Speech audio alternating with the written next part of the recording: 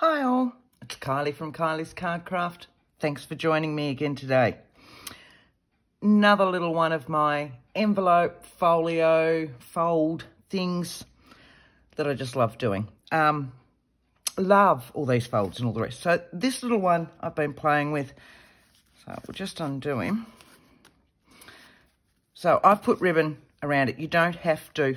Originally this was going to be an envelope, but I was going to stamp a an address here and a return to sender type thing up here. In the end, I put a an eyelet and wrapped it with some ribbon. So to start with, without the ribbon, it just looks like an envelope again.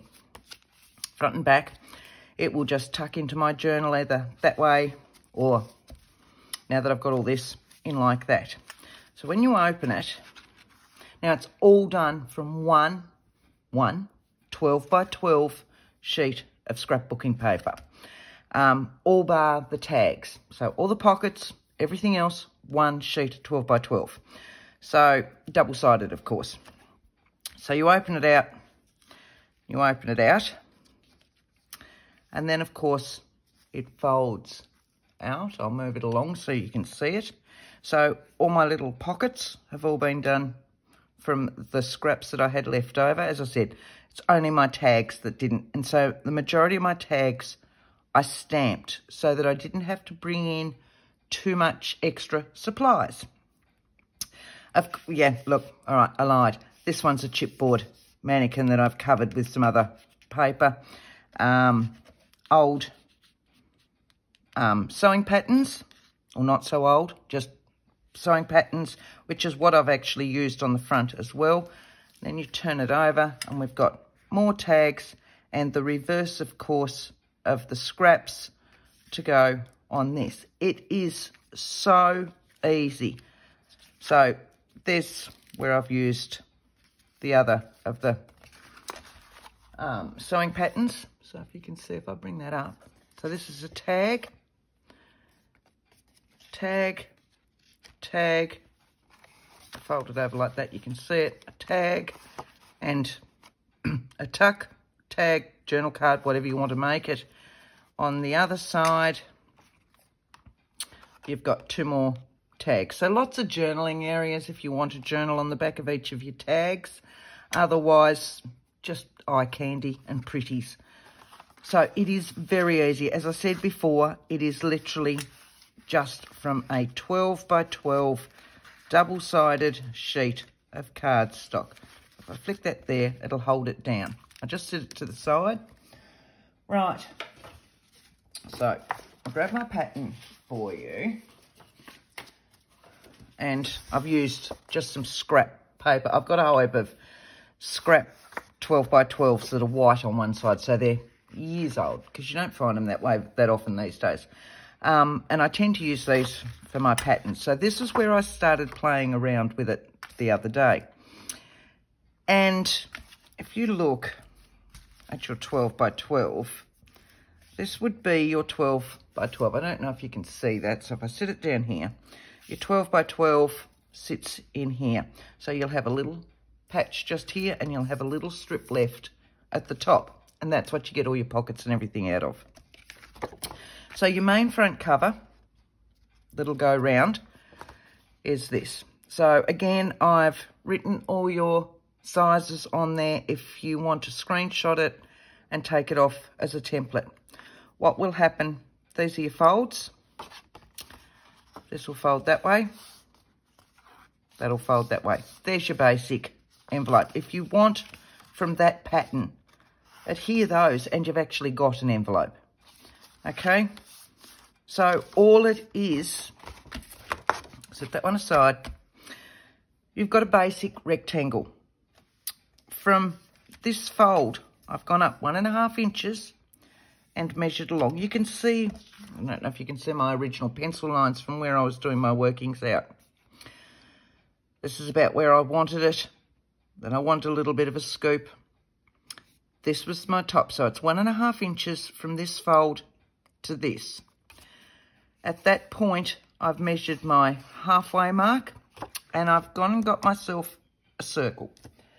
Now, I tend to have this, which is I don't know, 15 years old or more.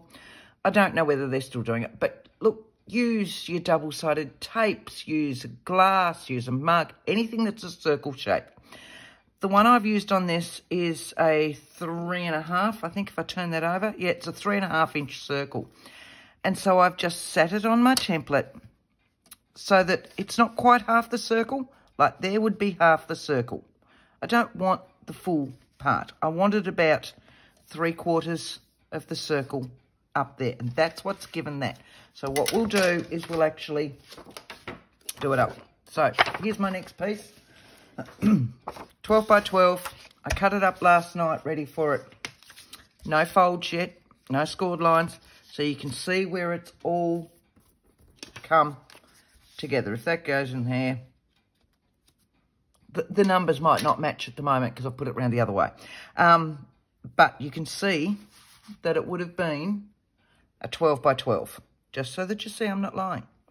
Right, so across the top of your 12 by 12, measure down five and a quarter inches and just chop it straight off so that you've got a full length, five and a quarter down by 12 inches in length.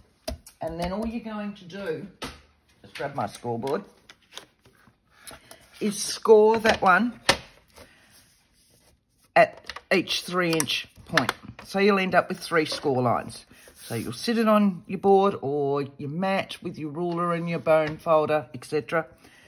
And just score three inches, six inches, and nine inches. Yes, I know you can turn it over to your valleys and your, and your mountains and all the rest, but you should know by now I'm lazy and I'll just score them straight as they are.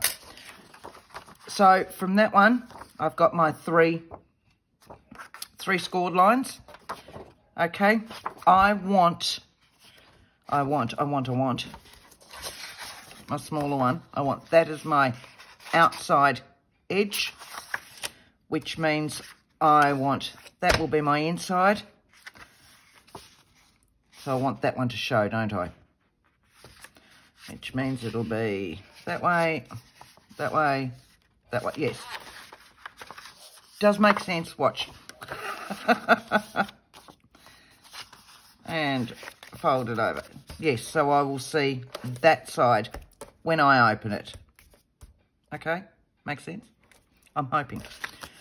Right, so with this one, this is just now. If we look at our template, five and a half inches down. Okay, so if I sit that there, you can see it. So I've cut off that from that 12 by 12 sheet again, five and a half inches. And then back over to about nine and three quarter inches. So five and a half by nine and three quarters. Make sense? Right, so from that, I'm going to score. Here's your score lines. Where can I sit them so that you can see them as well? Sit them to the side there. You can still see that, can't you? Right. So, I'm going to score in here three and three eighths, which is just awesome, isn't it? This one, which is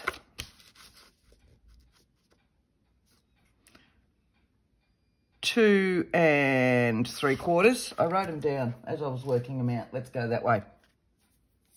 Yeah, two and three quarters. Two and three quarters from the left-hand side. So quarter, half, three quarters. So one score line down there. And then at six and a quarter.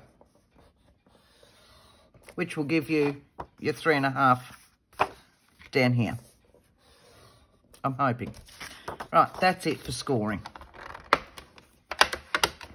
I'll put that away.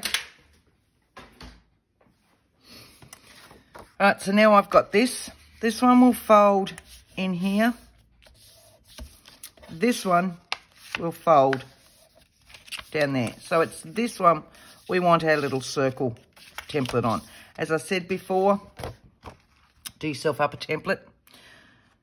Go out one and a half. Draw a line. and then put your circle in there. So for this one, because I'm lazy, I'm just going to trace it straight on. Because now I've got my template, I can.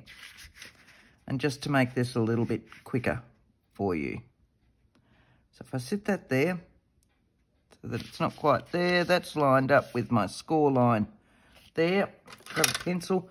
Sharp pencil. Always use a sharp pencil when you're tracing off or going around templates because otherwise your pencil will give you a fatter edge and you're not actually on your lines then, are you?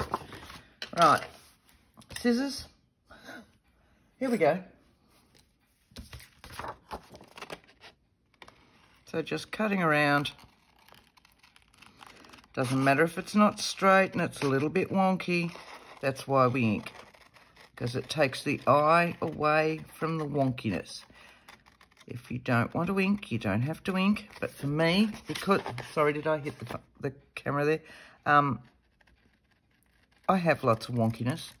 So you can see when I'm cutting my circle, my scissors are straight, more or less. All they're doing is going down to make the cut, and it's my hand that's moving my other piece. So as we go around our circle, it's my paper that is moving, not really my scissor hand. Right, chuck that piece away. So here we have now, and I've done it upside down. Would you believe that? Did nobody realise that at the time? All my numbers are upside down. Should have done it that way. So let's do this one that way, as it opens that way, which means I will turn that one upside down and stick him that way. Yes? And I want that the other way around. No, it has to be that way. And I want them to fold that way. Oh, I'm all over it this morning, aren't I? So we'll just refold them that way. Because I want it to show like that when you open it. Yes. And then the different one. And then that one. That's what I want. We're all over it. It's fine. Told you it was easy. so in essence, that's it. If you didn't have pattern paper going a certain way, so much even easier.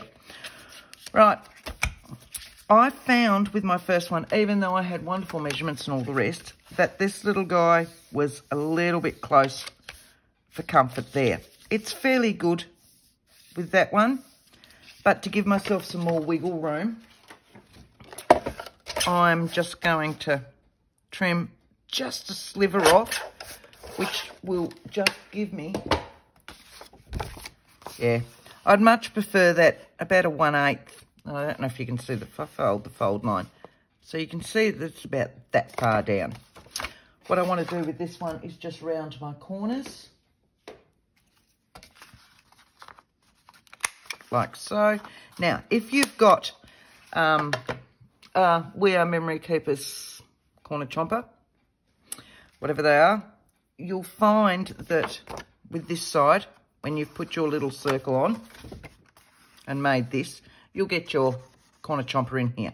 I don't have one. I don't have the strength in my hands to play around with them, so I just use my standard.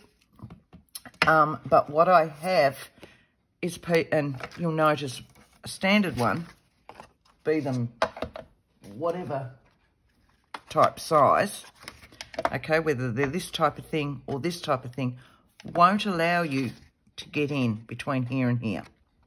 So what I've done with mine is I've got just a piece of acetate. That's off a bit of packaging. And I've rounded a corner. Then I use that one as a template.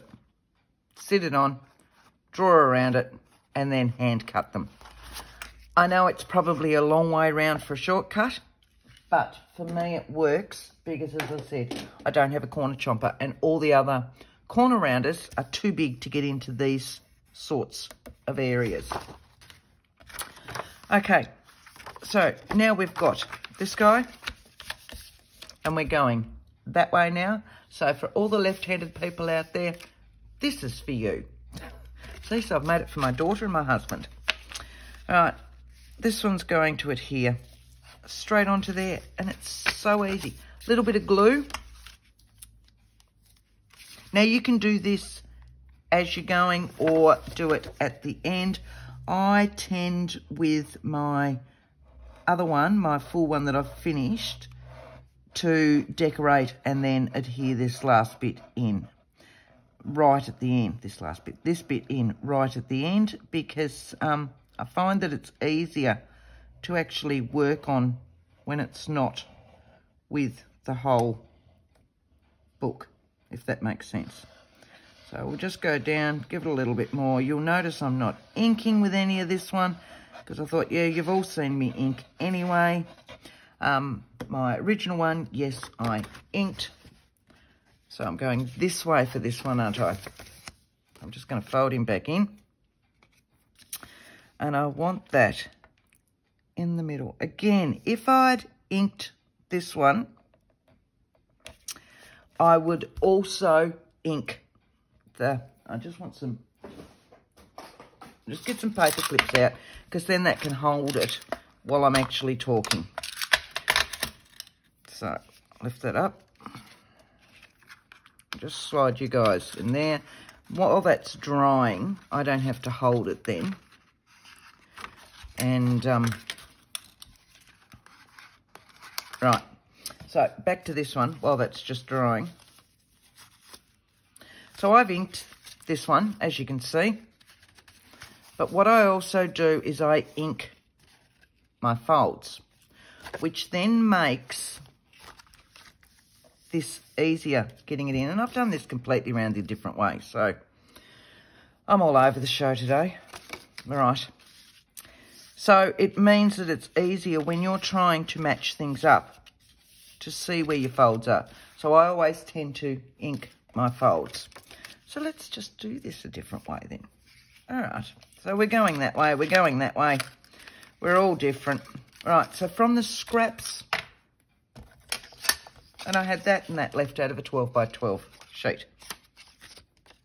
Okay, or you can see where I haven't trimmed off the barcode bit properly. Oh well.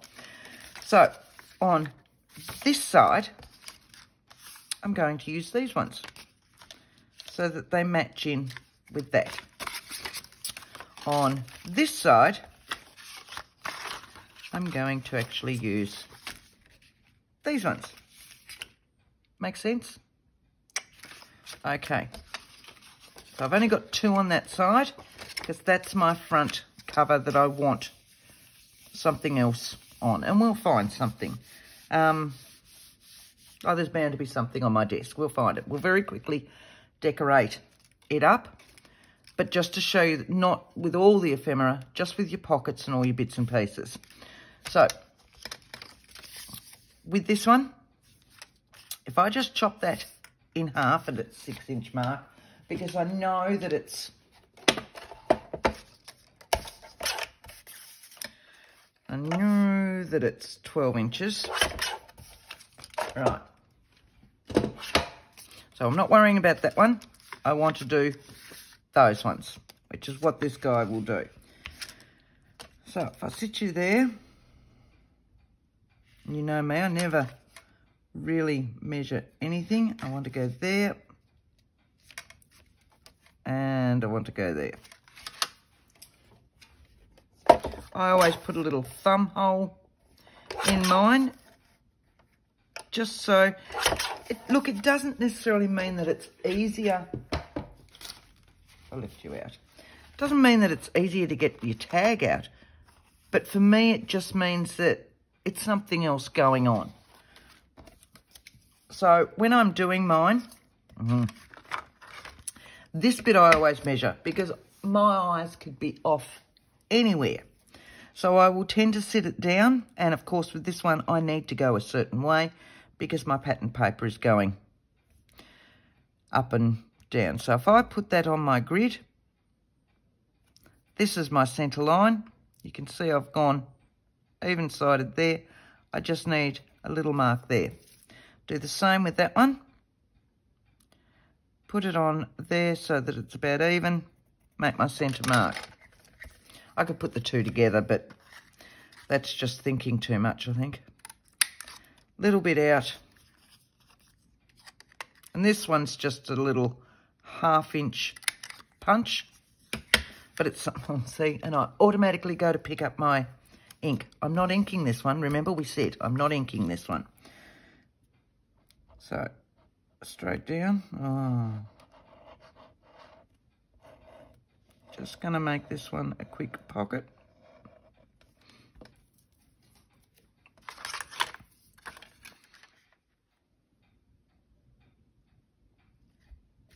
That's my front cover, isn't it? No, it's not. You I'm all over the show with this one. Look, when I picked this paper out last night, I went, oh, that's awesome. Love the numbers, love the colours. Oh, yeah, but then didn't really think it through, did I?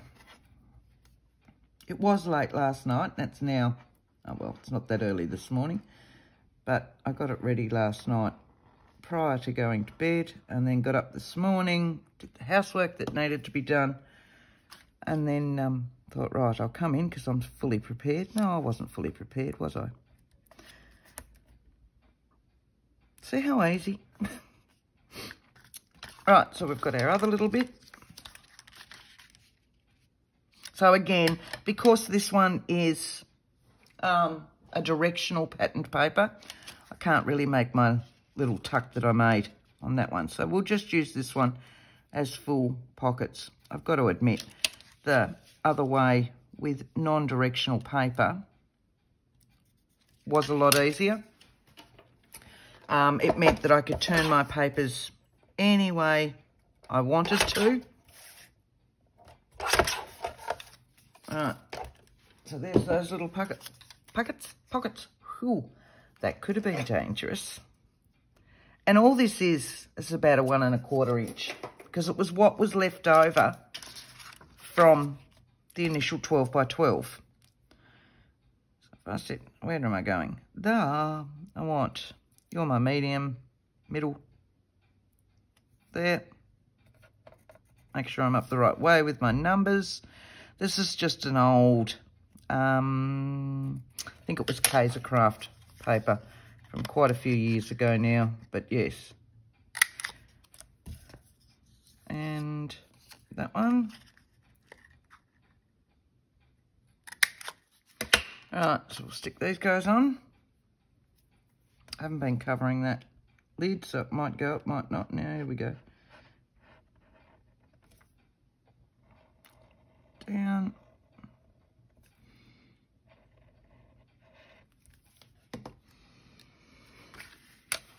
and that one. Now, you could make this any size you like. You don't have to get it out of one 12 by 12. They're dry by now. Um, it could be larger. It's just this size tends to fit the majority of the journals that I do. So this is the size that I usually work on.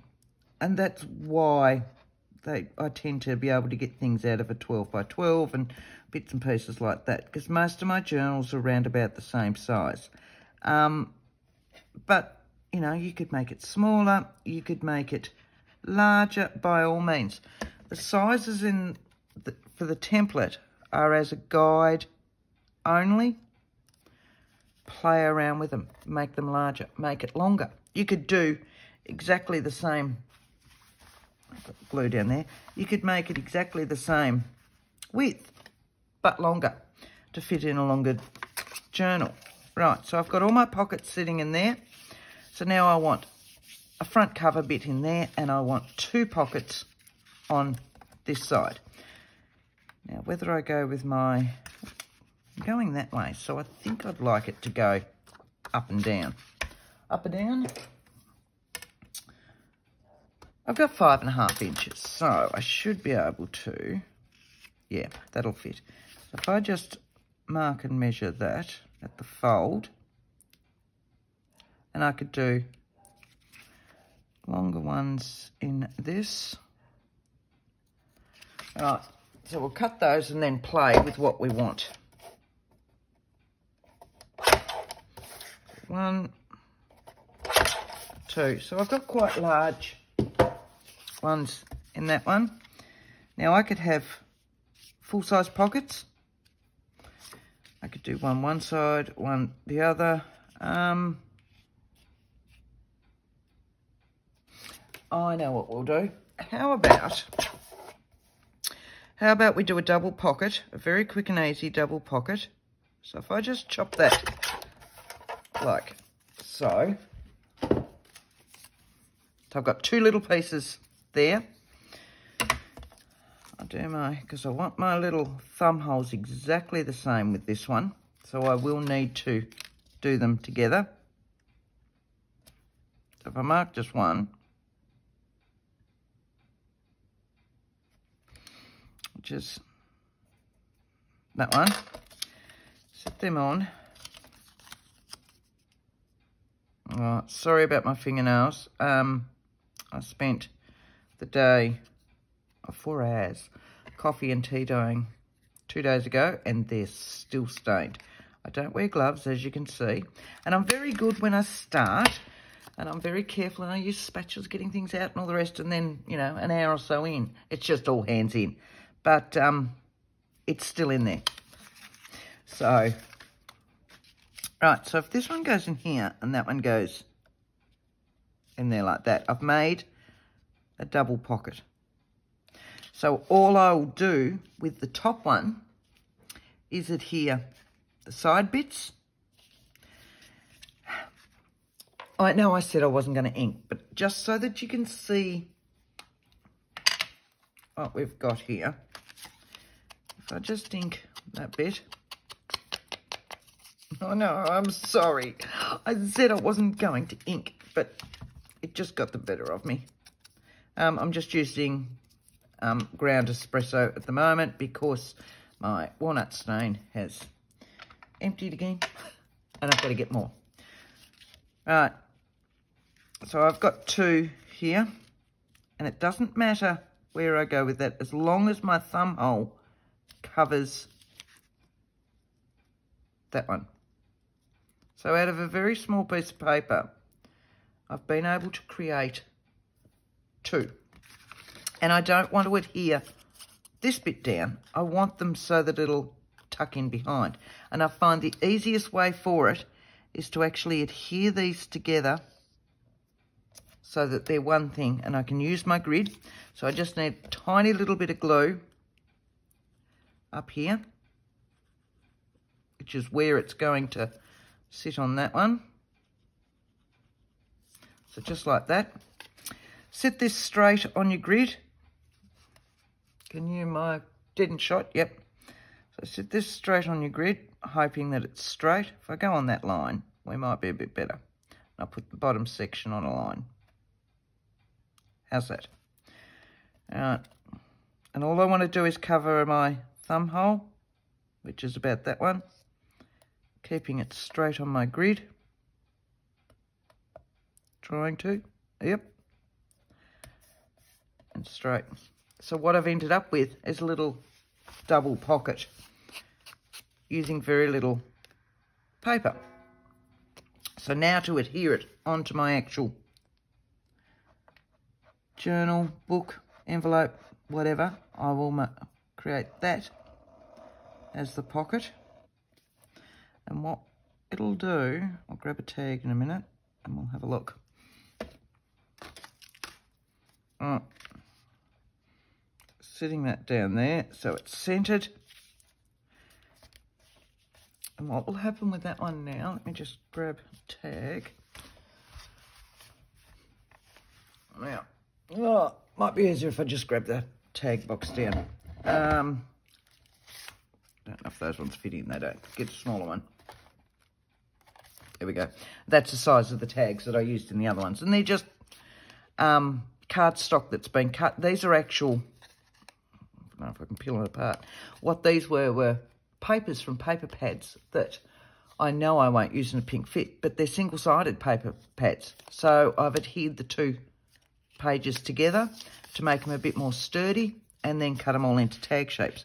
So you'll see now what I've got is I've got that one and I've got that one. So for me, what I'd do with this one is I'd have this side size up here. And let's see if I can find a smaller size.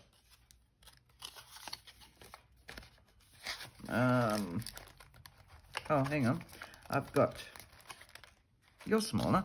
And same thing, out of the paper pads. And that'll sit in there. So easy when you've only got a small piece of paper.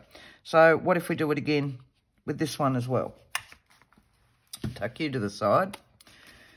Chop you off. Just we'll just go through it again. So we don't, I'll lift that up, set that that way. I don't want, it is going that way, isn't it? Yes. Again, directional paper. Right. So I think I had about one and a half inches for my other one. Yeah, I say, because I didn't measure, I just cut the first one off. So now we're recreating it. I want about one and a half inches. So, just to go through it again, we'll mark our centre point. I like my thinner lines than my bigger ones. Uh, which is about there, isn't it? Yep. Put the two together. Punch them both out together line them up. Get your thumb out of the way. Oh, more thumbs, more thumbs, more thumbs. Right. Beautiful. And I'm sorry. I'm so sorry again. I'm inking. Just so that you can see it. That's my excuse anyway, and I'm sticking to it. It's so that you can see where the thumb holes are. How's that? See? It's because I'm thinking of you. Right. Very quickly. Don't need to do the bottom of that one. Again, exactly the same way. A little bit of glue at the top of this. Just to join the two pieces of paper together. Lining it up on my grid. Just covering that thumb hole. That looks right. Does from where I'm sitting. And if I look at it straight up, it's probably not. Right, there's our pocket.